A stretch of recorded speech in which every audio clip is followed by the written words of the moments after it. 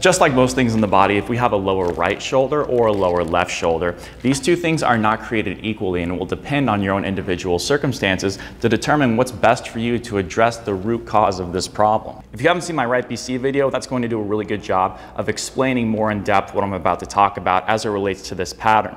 Because normally people have this presentation where they have a higher right hip and the spine, the lower spine in particular, is biased towards turning towards the right. We have a diaphragm that's bigger on the right side, more fixated attachments to the spine on the right side. And because this diaphragm sits on top of the liver on the right side, which is a heavy organ, now, that is going to result in air from the right diaphragm going into the left chest wall and expanding it up while these right ribs stay more depressed and down like that. So we have more of these internally rotated ribs on the right, and that's going to pull the shoulder down and forward, and these left ribs are externally rotated and turned up like this. So you can kind of see how that's going to put us in this position right here. What we often see on the backside is a more flared or winged scapula on the right side, which is biased towards an internally rotated state of that scapula.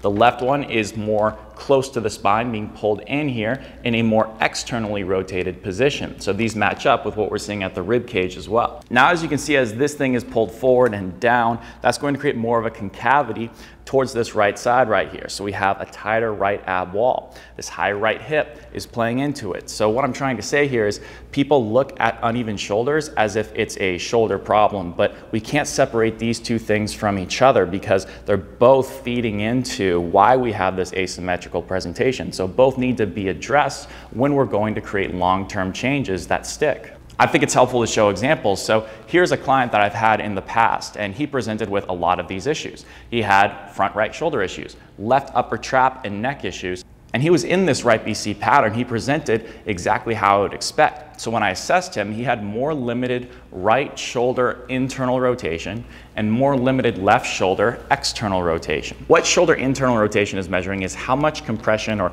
internal rotation is present in these right ribs. The more compressed this front right rib cage is, the less internal rotation is going to be present to the shoulder because that shoulder is being pulled down and forward into this internally rotated compensatory state. So we can't go somewhere we're trying to get if we're already there. What shoulder external rotation is measuring is how much compression is on the backside of the ribs right here. If there is a lot of compression, meaning that the scapula is being pulled closer to the spine and it's unable to move very effectively, shoulder external rotation is going to be limited. The first thing we need to do is be able to open up this rib cage on the right side. And we need to do that in a way that's also going to help expand the back left ribs as well. And the reason why is because if I reach a little bit further with my right hand, I turn myself left. And what that does is that pushes the left ribs further back so we can get more opening of this space on the left side. And that will also allow the right chest wall in particular to expand. If you want to see the full video walkthroughs for every single exercise in this video, you can check the article in the link down below in the description. That's going to have every single exercise, full detailed walkthroughs, and also some more information and visualizations for you. At this point, what we can do now is bring the scapula into a better resting position on the right side so we can pull it closer to the spine. And that will allow it better ability to downwardly and upwardly rotate, go into internal and external rotation. So we're going to facilitate the right low trap and the long head of the triceps, which attaches on this lateral border right here to help pull it down. A basic tricep extension activity was all we needed to get started, but then we wanted to progress it to higher levels of shoulder flexion. So we did a banded D2 flexion activity where we got the arm going overhead, which was getting the low trap to work in those upper ranges of shoulder flexion. And also the long head of the triceps was also working to help make sure that the scapula could stay on the rib cage better as they bring their arm overhead. This is the supine resisted diagonal flexion activity from postural Restoration Institute. The purpose of this is to recruit some tricep and low trap and get the shoulder in a good position and open up the chest wall on that same side as well. So to set up, we've got a hooklying position here where the feet are flat, knees are bent and in line with the hips and also the feet. We've got a piece of tubing here that's not heavy whatsoever or strong whatsoever because we're going to be stretching it out a good bit. We have about a 10 pound resistance here and a relatively narrow grip and you're going to have to adjust it depending on how thick that tubing is and how strong it is but generally you don't want to be feeling your muscles more than about a 5-ish out of 10 here. So to start we're going to take that band in the left hand and we're going to have a palms up grip on the right, palms down on the left. Now, we're going to start by pushing that band down on the left. That's gonna slightly side bend Trevor to the left, and that should engage his left side abs. And now he's going to pull that arm overhead, maintaining that left reach, and he's gonna get in a position where the thumb is facing down on the right towards the floor, and his arm is now above the level of his shoulder. So in this position right here, he should feel those left abs working with the muscles on the backside of his shoulder blade and also the backside of his arm here, his tricep and low trap. And then he's going to exhale through his mouth nice and full, getting all that air out because we're trying to expand this chest wall with air here. So he's got to maintain those left abs, that left reach, and that full exhale. Pause, close his mouth, inhale through his nose, and you should feel this right chest wall expand. At this point, I wanted to get him more upright, but I also wanted him to learn how to shift to the left because if we're not thinking about how this pelvis is turned to the right, then we're always going to be limited in our ability to get long-term changes because this underlying pelvis position is still influencing this right BC pattern. So what I did was get him in a standing position, had him do a push down with the band, owning that left stance and getting familiar with what that felt like. And that also helped close off his left side and open up the right chest wall further. So now we're integrating a lot of this stuff together. Now let's talk about what happens when we have a lower left shoulder. When this happens, it is usually an additional layer of compensation and an additional turn in the spine. So what we usually and most commonly see with a lower left shoulder is we still have a pelvis that's oriented to the right and we still have a mid spine that is trying to go left, but then what happens is we have a counter rotation of the spine at T4, which is right here, and that is going to start to go more towards the right side again. So now we have these three twists. You might be asking, why does this even happen in the first place? Well, a lot of people, when they have this really tight, compressed rib cage on the right side, they can't inflate it very effectively. The muscles that are more accessory muscles of inhalation on the neck are going to go into overdrive to help try to elevate the ribs that they attach on. And that is just a desperate attempt for them to try to get air into their right chest wall. So they use muscles like their scalene to help pull some of the top ribs up.